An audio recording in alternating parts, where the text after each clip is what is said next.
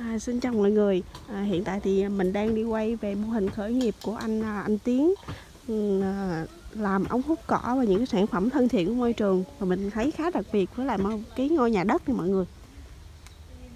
À, ngôi nhà đất này là tự làm luôn. À, dạ, đấy, dễ thương à. cái này nhuộm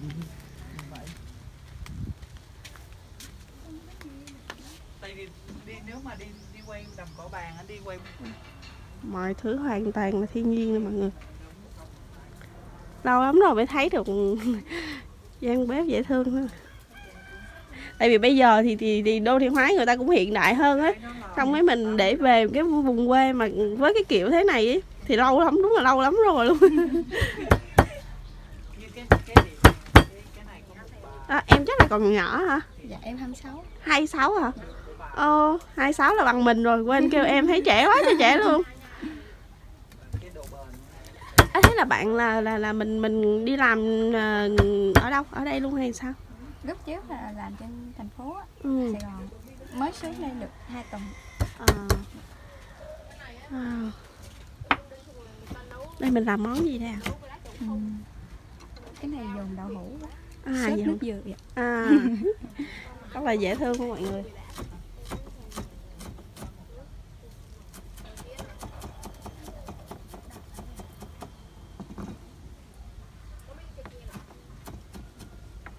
Đây.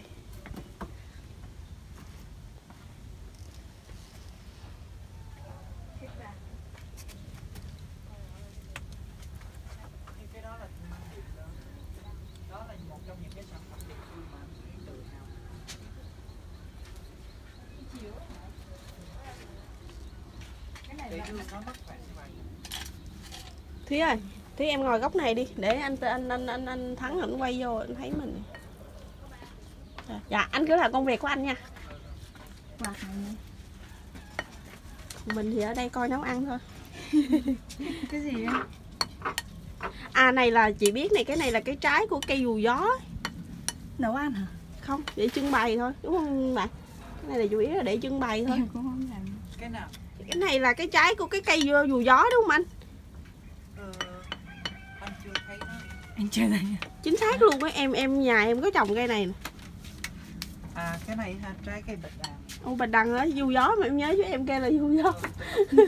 em Chị nhìn giống Em trong Long An luôn, Giống nhưng mà em ở ờ, anh với em là bị khác đầu, em ở Tân Thạnh của Long An. Dạ đúng rồi. này giống trong cái clip của cái. Ít bây giờ ít hết rồi. người ta đốn ngày xưa trồng chung với mấy cái rừng tràm này kia anh. Thì có chứ bây giờ người ta đốn hết rồi. Ừm, bây giờ thì phải gây dựng lại thôi cái này hai lần mình cái mà vừa ôi dễ thương quá. Đây cái lồng bàn bằng gỗ luôn nè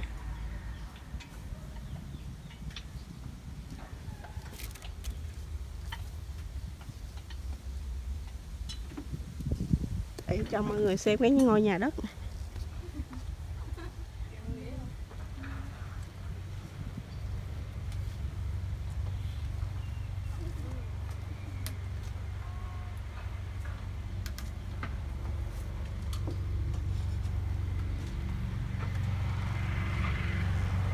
đây. Và bên đây là anh xây hai ngôi nhà luôn nè. Hoàn toàn bằng đất ừ, này đắp lên kỳ công quá ha. Này hình như là đất trộn chung với rơm. À, anh Tiến là nhà giáo và anh quyết định là bỏ nghề để về à, vùng quê này khởi nghiệp với à, những cái cây cỏ thiên nhiên. Và anh quyết định xây cho mình hai cái ngôi nhà đất như thế này để à, sinh sống Ừ. quá ư là dễ thương luôn. Có thể là quay thế này mọi người không thấy tượng tổng quát hết cái ngôi nhà. Thực sự bạn đến mình chắc chắn một điều là bạn sẽ rất ấn tượng. À. còn đây là ngôi nhà thứ hai.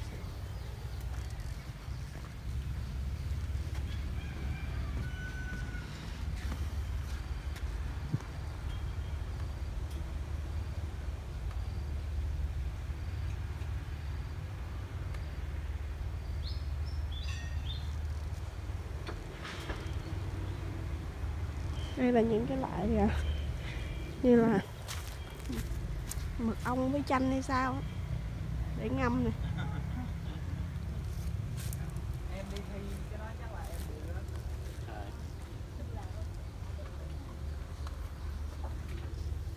Cái này em thấy ở trong đó nó khi mà đầu tư số tiền nhiều như vậy em không biết là sẽ làm gì nó ăn cái gì ạ à nhà mẹ chị cũng có làm cái này. Mời tới đây. Đói quá à, đậu hũ đầu tư Cặp nập meo vào quan trọng đúng không? Cần không cần Miếng ha Cái này nó rất là Cầm váy đi nha nó làm cái gì Bình về đây là sống luôn hay là là sao bạn? Em ở đây hết tuần này á à. Ở trong vùng đây hả? Ở đây là mấy Giờ bạn. tuyển tình nguyện viên này hoặc là làm ở đây à, thì chị đó kiểu như là tình nguyện viên thôi xuống bao nhiêu thời gian thì xong rồi đi về thôi chị. À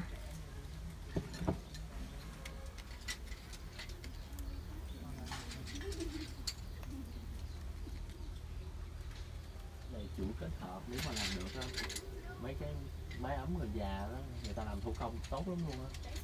Tại vì mình quay máy ấm á hoặc là người ta bỏ những cái mà cộng xe lỗ tai á người ta đóng gói từng cái từng cái một kiểu mình là đi xuống đây để trải nghiệm hay là như thế nào? có những người dạ. mấy À. người ta vẫn thì xuống đây thấy thế nào? Sau này mình sẽ sống cuộc sống giống vậy Xuống đây thấy nhớ nhà. À, nhớ nhà. Nói chứ đôi khi mà quyết định về quê thế này cũng là một cái can đảm đấy. Em có dám về không? Dạ đấy em mới bảo là để về được về và và thật sự là quyết tâm để về đây mà mình sinh sống khởi nghiệp là cái ý chí lớn của em chứ không phải là đôi khi xuống là thích liền nhưng mà việc thích nghi á anh. Thích nghi rồi cách để mà mình tạo ra kinh tế nữa đôi khi nó cũng sẽ khó khăn nó nó rất mắc gì thôi về đâu về ở đâu được với mẹ đâu giờ mình kêu về anh là nhà anh là là là mình quê gốc ở đây luôn hay sao anh? Ừ đúng rồi quê ở đây. Dạ. Ồ có cây đàn nữa này. Em biết đàn không? Dạ không phá đàn thì được. Ôi nhà đất này kỳ công quá. Em không cần phải tốn tiền máy quạt gì luôn. Mát hơn mát. Mát. Nhưng mà mưa thì sao anh? Mưa đâu sao đâu nó không có bị dột lâu lâu em sẽ thay lại máy không? Không em đang sợ là đất thì nó có bị ảnh hưởng gì À, không á? luôn. Chỉ có nếu tạt thì em chỉ cần là làm một cái máy hiên cho dài nữa thôi. À, nó vẫn bền. Bao mát rồi. Lá. Hút tre có một cô trong xóm bà làm.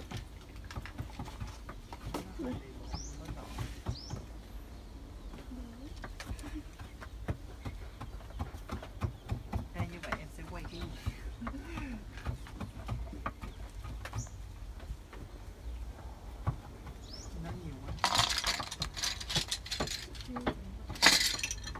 thì không biết là anh làm cái nhà đất này thì tốn nhiều thời gian không anh? Nhà ừm, cái nhà đất bên kia thì ờ, mình làm mất là hai tháng. Và mình dành mình dành trọn thời gian hai tháng đó để mình làm. Từ cái công việc như là à, đánh tranh hay là à, đắp vách đất nhào nhào trộn đất. Em thấy hình như là làm với rơm đúng không anh? Đúng rồi mình sẽ làm với rơm và đất sét. Nó thì cái đó mình cũng mất gần 2 năm để mình nghiên cứu làm từ từ á. Tại vì mình dựa trên những cái kinh nghiệm của các bà trong xóm. Ừ. làm sao để cho nó nó thể nứt như vậy thì có sợ nó sẽ bị rơi bị ấy không anh? Với nhà vách đất như thế này thì có thể ở tới 5 đến 10 năm. Thì thời gian đó thì cái, những cái vách này nó khi mà phá ra thì cái vách nó vẫn còn. Nó cũng rất là chắc chắn. Ừ. mình chỉ cần là chăm sóc nhà cửa kỹ lưỡng thì mình sẽ không phải lo bị mối mọt. Ví dụ mình quét nhà thường xuyên hoặc để ý những cái chỗ ờ, trên sàn thì nó sẽ không phải gặp mối. Hoặc là mình sẽ giữ cho cái nền nền đất nó luôn được khô ráo. Dạ, đất này thì trộn với cái gì anh Ờ, làm cái này thì mình sẽ băm đất ra. Ừ. tức là ờ, đất mình sẽ bỏ đi cái lớp đất mặt. Sau đó là mình bắt đầu là mình băm đất ra. Ờ, rồi mình chế nước vào rồi thêm rơm và nhào Ờ. nhào trộn rồi sau đó đắp từ từ Ai, kỳ công quá. Nó cũng này có có cái xương trong không? Có chứ. Dạ đúng rồi. Xương nó cái hả? xương nó giống như là cái khung cửa sổ đó. Ừ, đúng rồi xương À. tre đúng không? Dạ. à để- để vậy cho nó đứng đúng không? Cho đất nó ăn vô chứ sao đất nó ăn vô được? Ồ em nãy giờ em có thấy thắc mắc là tại sao nó khởi đứng đứng nó sẽ có như một này cái khung như vậy. Đúng khi rồi. mà mình Ừ. cái miếng rơm á nó sẽ có vừa đất vừa rơm thì mình dắt cái miếng rơm qua này. Sau đó mình vuốt hai bên. Dạ. rồi sau đó để cho nó được láng thì mình sẽ có một cái lớp đất sét. Mình mình áp ở ngoài sau đó mình lấy một cái miếng miếng gỗ á mình mình Đấy làm cho nó phẳng ra. là tráng dầu. Ừ. đây là mát tự nhiên hoàn toàn nãy giờ đây. Gió mát khỏi ở đây mình thiết kế nhà nó nó sao cho nó hài hòa. Để ví dụ bạn có thể thấy rất là nhiều cửa và cửa sổ để tận dụng ánh sáng bên ngoài Ừ. và tận dụng được cái không khí đối lưu và ở xung quanh. Và xung quanh mình cũng trồng cây. Bây giờ đang là mùa khô và ở chỗ này nó không có nhiều nước cho nên mình không trồng rau mà mình chủ yếu là mình đang làm những cái luống rau bên bên chuẩn bị những cái luống sẵn khi mà mùa mưa xuống thì bắt đầu có À, thể là trồng mình trồng rau và cái việc trồng rau thì nó cũng đơn giản. Ví dụ như là mình ờ, mình chỉ cần là một cái lớp lá phủ lên dày cỡ 9 9 cm thì nó sẽ hạn chế được rất nhiều cái vấn đề. Ví dụ như mình không phải lo cái việc tưới nước nhiều này ừ. mình cũng không có phải lo đến vấn đề phân bón. Bởi vì khi lớp lá đó nó mục á, thì nó sẽ tạo thành cái lớp mụn ở dưới. À, và nó giống như nó giống như là mình trữ pin trong đất vậy đó. Mình trữ pin vào trong đất thì nó sẽ cây nó sẽ hấp thu từ từ và cái phần rác rác đó nó cũng sẽ phân rã từ từ. Mình sẽ không phải lo đến vấn đề là bón phân. Dạ. Mình chỉ cần chăm đất thôi đất sẽ chăm cây wow. hay quá. Đây là chỗ chung với chỗ làm nệm đó anh cái này là cái một bà 83 tuổi đưa những cái, cái sản phẩm này. 83 tuổi à? Ờ. bà có bà của mình thì làm như thế này tức là bà ba. Thì ờ, bà dành ra từ thứ hai đến thứ năm là đương những cái sản phẩm này. Ừ. thứ sáu thứ bảy chủ nhật thì cô bà đi lặt bông bông thiên lý với các bà trong xóm và bà làm cái này với niềm vui là chính à. chứ bà cũng không mong làm được nhiều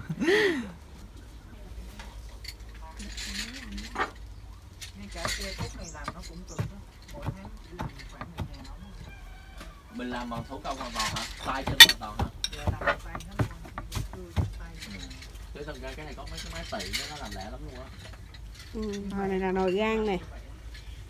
Nồi gan này, nồi nồi gan ờ, nồi gan này giữ ấm lâu lắm nó nóng lắm. nó Dạ, Nấu này mình nó thấy- chảy lên. ừ. làm cơm cháy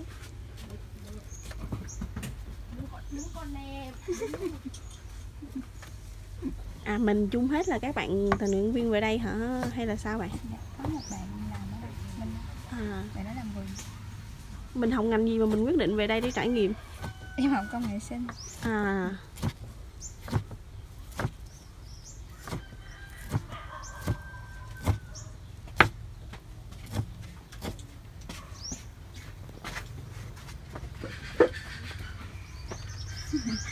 Đến nhà khách.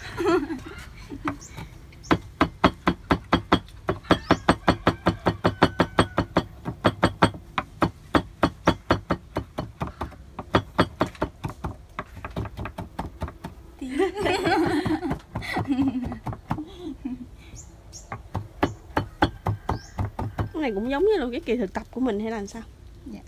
không hay là mình cứ đi mình Dạ, để mình muốn đi thì mình Ờ. đi đó. Đây mấy cái chai lọ này cũng dễ thương quá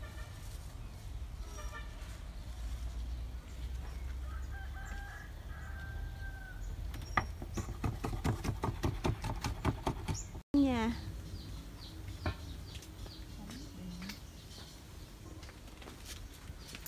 Ờ, nhà đất ở đây có cây bưởi đây quá hợp lý rồi. Rồi giả ra nó, nó độ 2 mét rồi nó mắc đúng là nhà đất này mát thật luôn á. Ừ. dễ thương á này như là sống lại thời xưa ở dưới quê ta xây nhà đất không chứ nhà Em- không em quay lại thôi. Bóp nhỏ đây nè. Lấy một cái đi. Đó anh lấy đi. Không cái này bự hơn. Anh lấy đi tôi để cho cái giá gốc. Ừ lấy mà. Này này cái này đi sự kiện hơi bị ok đấy à Không này bự lắm, mình bỏ túi lấy cái bóp Cái nhỏ bự cái, bóp nhỏ cái này thôi nè. Ủa nó bằng cỡ hả? Còn nhỏ hơn không? bằng size đấy. Đây là dân hồi xưa đi dạy thôi mà. Nè. Ờ nó thứ rồi không? dễ thương quá. Cái này màu màu màu cái này là dùng để đựng cái gì anh? Anh ơi cái này là dùng để đựng cái gì? Cái đó hả? Mua ở trại cá để làm mẫu sản phẩm cái này đựng kim chỉ. À tưởng mua thì bảo nó đựng kim chỉ vô nó nghe kim tưởng mua thì đựng kim cương. nữa này mọi người. 50 cái túi này được làm từ đan. À,